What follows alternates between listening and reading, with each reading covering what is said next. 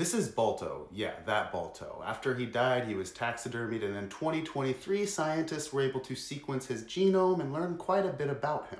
Here's the paper, and if we look at this figure, the DNA analysis revealed that Balto and his group were actually what we would consider a mutt. He wasn't a purebred Siberian Husky, despite the fact that that's what they were known as at the time. Balto's actually up here on this phylogenetic tree, and you can see that he is actually more closely related to the Alaskan sled dogs, but again, there's a lot of admixture in there. This study revealed something somewhat interesting about dogs, at least interesting if you're interested in evolution, Something a lot of people don't consider is that you know, we think of all the things like the physical changes that have happened as domestic dogs have evolved from their wolf ancestors.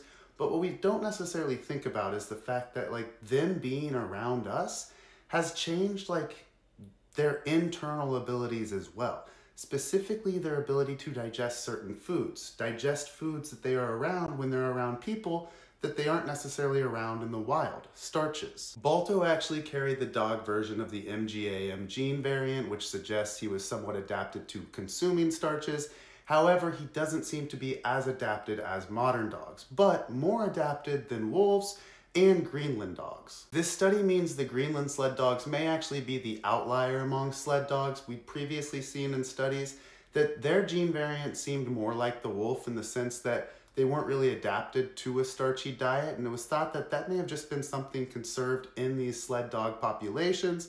But because of this evidence, it may actually just be the Greenland sled dogs are an outlier and something unique and worth looking more into. But also, like, it's evolution. It isn't necessarily done with purpose, it isn't done for ultimate efficiency. It's just based on what happens. You know, if certain mutations happen, then they can be more likely to be selected for. In some populations, they may just not happen though, so that trait doesn't evolve over time in the same way. Evolution is pretty random in some senses. I could go on and on about this though. Science is nuanced, and I need to go deliver amoxicillin to my daughter, which is what made me think about Balto this morning.